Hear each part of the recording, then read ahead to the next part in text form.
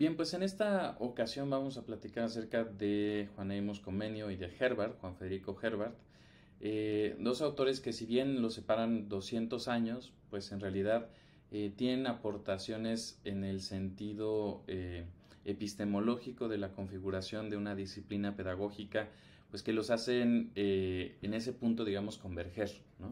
Por una parte, Comenio, como seguramente muchas y muchos de ustedes sabrán, el padre de la didáctica magna como tal, ¿no? El libro que escribió de la didáctica y de mucho que se ha escrito en educación, ¿no? Ha sido referente, así como en filosofía se dice que después de Aristóteles no se sabe si hay otros que han contribuido a la filosofía o que ya todo ha sido dicho. Igual Comenio muchas veces para los pedagogos es como eh, el padre, digamos, como de, de lo pedagógico, específicamente de lo didáctico. Y Herbert en particular porque él propugnó la idea de una eh, disciplina de la pedagogía como una ciencia eh, o como una disciplina científica, con un método. Entonces, estos dos en ese sentido configuran el campo de lo pedagógico eh, como disciplinas científicas y que tienen en sí mismo, digamos, como una, una una metodología, una forma de eh, estudiar y un objeto de estudio propios. Entonces, sobre de eso, pues vamos a platicar un poco al respecto. Y vamos a iniciar primero con Comenio. Comenio en particular, este pedagogo checo, habría que mencionar que, pues en realidad, la obra que más se le conoce es su obra de didáctica magna, que se sigue publicando y se sigue haciendo una nueva versión cada, eh, pues cada X tiempo por la vigencia de las ideas y también porque es eh, un punto de partida para la configuración de, la didáctica. Sin embargo, habría que mencionar que en realidad Comenio, pues más allá de didáctica magna, pues también tuvo muchos otros contribuciones. Se le dice, los comeniólogos dicen que hay más de 300 textos, de los cuales están perdidos alrededor de la mitad. Eso, eh, si vemos un poquito su vida, que estuvo de un lado a otro todo, todo el tiempo, eh, por las guerras y por conflictos, pues eh, gracias a, esto también se perdieron varias de sus obras que fueron quemadas, ¿no? Pero simplemente veamos un poco de algunos ejemplos de las obras que escribió. Eh, por ejemplo, tenemos este primero que se llama Reglas Gramaticales Más Fáciles, que en esa época pues enseñaban las reglas gramaticales de manera deductiva, es decir, se planteaba la premisa, la, la regla y sobre de eso se veían ejemplos. Y él lo que hizo fue al contrario, ¿no? Poner más bien pequeños ejemplos y como de eso derivaba la regla. Eh, luego tenemos también, por ejemplo, eh, otro texto, La Escuela Materna, que habla acerca de educación eh, inicial. También hay otro interesante que dice Tratado sobre las oportunidades que hay que para proseguir la investigación didáctica. ya una vez que se tenía esta idea de la didáctica como método de lo pedagógico. Y también eh, otro interesante, más allá de hablar de la lingüística, moderno método lingüístico, también nos narraba acerca de tres objetivos que debía tener la escuela eh, y los nombraba como sapientes cogitares, es decir, con sabiduría de pensar, honeste operan, con honestidad de actuar y loci argute, hablar con propiedad. Y en ese sentido, digamos que eh, las ideas de Comenio ya nos hablaban de esta formación de diferentes dimensiones eh, de la persona. Eh, también una contribución muy importante es su texto Orbis Pictus Sensualis, que aquí es el primer libro de texto ilustrado que jamás se diseñó. Entonces, de manera didáctica, justo lo que hacía Comenio era, si se dan cuenta, por ejemplo, en la figura de la derecha tenemos eh, un, un, maizal, ¿no? Tenemos ahí eh, una imagen donde tiene números, ¿no? O del lado izquierdo tenemos un ejemplo de las flores que también tiene números y sobre eso va describiendo la imagen, ¿no? Entonces, esto es interesante porque justo nos plantea desde ahí la idea de su pensamiento didáctico. Eh, también, bueno, su obra más consagrada e importante sin duda es Didáctica Magna, ¿no? Y ahí, pues, yo creo que una de las primeras contribuciones es cómo estructuró esta obra, ¿no? La estructuró en tres grandes apartados. Una eh, que es didáctica general, didáctica especial y finalmente organización escolar. Y esta distinción de didáctica general y especial es algo que seguimos teniendo al día de hoy los pedagogos y las pedagogas. Y ahí en particular la primera parte de didáctica general nos habla de cómo debería ser la enseñanza, de, los, de las finalidades de la enseñanza, ¿no? y de los métodos generales que se deberían de utilizar, mientras que didáctica especial, como sabemos, ¿no? Pues lo que hace es aborda las disciplinas específicas. Por ejemplo, está la enseñanza de las ciencias, la enseñanza de la moral y da algunas sugerencias o prescripciones más bien de cada una de estas disciplinas. Entonces esta distinción de didáctica general y especial la encontramos desde la reminiscencia de Comenio.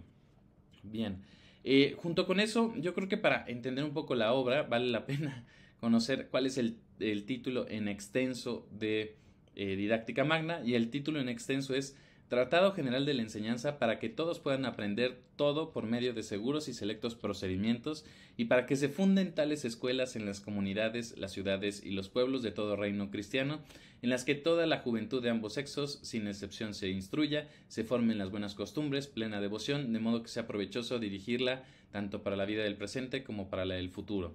Es decir, en ese sentido, eh, propugnaba por una educación que era eh, para todos, ¿no? Sin, sin, ningún tipo de distinción. Buscaba la universalidad de la educación, independiente de diferentes elementos. Y también eh, dos elementos importantes que habría de destacar de esta obra, pues obviamente es propugnar a la didáctica como esta disciplina que nos deja el arte de enseñar, ¿no? Y finalmente también eh, esta idea de secuenciar los aprendizajes de lo sencillo a lo complejo. Eh, tenía, eh, digamos, como algunos momentos didácticos que, que, que, el acuño era primero comprender, ¿no? Dar un espacio para que el alumno comprenda lo que está aprendiendo y no solamente lo memorice. Después viene la, el periodo, digamos, como de, de retener esto que acaba de comprender y finalmente practicar lo que se acaba de memorizar, en teoría. Entonces, fíjense que este, este ciclo que propugnaba pues era comprender, retener y practicar. Bien, 200 años después, ¿no? Eh, bueno, y también algunas innovaciones que habríamos de mencionar es, primero, eh, pues fue el primer libro con ilustraciones, uso de la repetición y refuerzo en el aprendizaje, énfasis en la formación ética y moral, no solamente lo académico. Y bueno, al final, pues uno lee la obra y sí se ve que es un enfoque muy estructurado, eh, muy, digamos, como esto es lo que se tiene que hacer, A, B, C, D, E, ¿no? No había tanto espacio, digamos, como a la reflexión del docente o demás, pero eh, la contribución que hizo sin duda fue eh, en demasía importante. Eh, por otra parte, 200 años después, ahora sí, nos vamos con Juan Federico Herbert. Él se le conoce como el padre de la pedagogía científica, ¿no?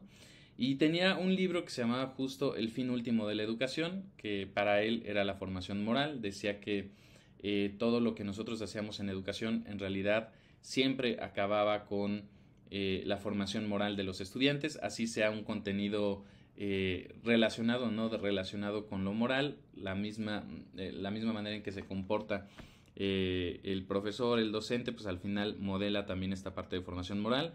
Y decía justo, eh, hablaba de eh, interés en cuatro grandes tipos, ¿no? Hablaba de interés de tipo empírico, estético, simpatético o empático y especulativo, ¿no? Que había que lograr que el estudiante eh, mantuviera, digamos, esos cuatro tipos de interés.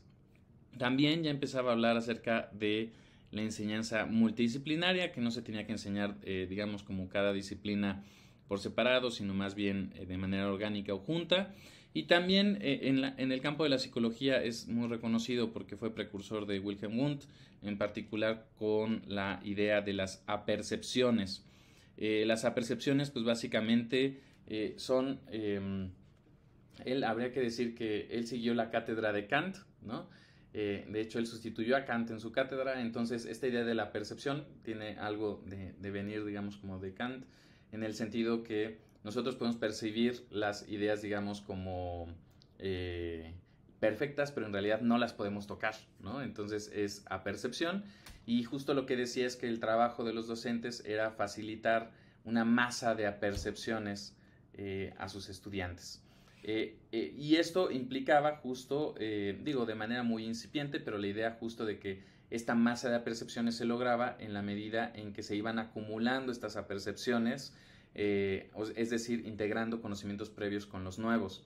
Y, hablaba justo de que había eh, tres grandes operaciones eh, mentales que lograban o que facilitaban estas apercepciones.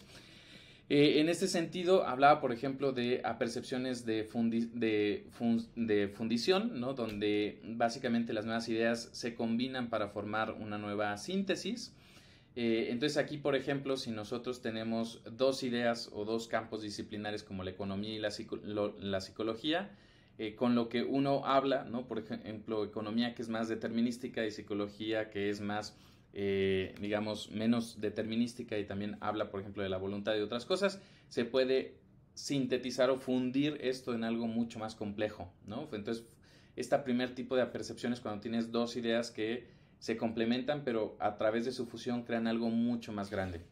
Eh, luego, otro tipo es la juxtaposición, que aquí simplemente una idea previa se añade a la siguiente, ¿no? Es como cuando yo aprendo, eh, digamos, primero piano y después aprendo, por ejemplo, violín. Eh, lo que yo sé de piano ayuda para lo de violín, no se contraponen, ¿no? Cuando yo sé inglés y francés. Entonces, mientras que en la eh, fundición lo que pasa es que la unión de las ideas crea algo más complejo, aquí lo que hace es que se complementan en la juxtaposición. Y el tercer tipo de apercepción es la exclusión, que es cuando básicamente tenemos dos ideas que se contraponen y entonces a partir de esto pues se tiene que elegir entre una de estas dos. Entonces aquí estos tres tipos digamos como de operaciones mentales si podemos llamarlo así pues son operaciones que tenemos que facilitar digamos como en las los estudiantes con la finalidad de lograr esta masa de apercepciones, ¿no? Entonces eh, Herbert interesante, ¿no? Porque además de la parte de lo moral, lo que habla es eh, de esta sugerencia de la importancia de concebir una pedagogía eh, digamos, como científica. Finalmente, él también pues tenía algunas ideas acerca de eh, cómo podría ser, digamos, un ciclo instruccional, un ciclo didáctico, ¿no? Un método pedagógico en particular. Y pues obviamente este método estaba muy relacionado con las operaciones mentales que, pensaba que se podían desarrollar de las apercepciones. Entonces era coherente este método con la idea de las apercepciones. Después Herbert y Comenio, los dos, digamos, como desde sus campos, 200 años de diferencia, pero al final lo interesante que concilian es esta idea de la pedagogía como una disciplina científica.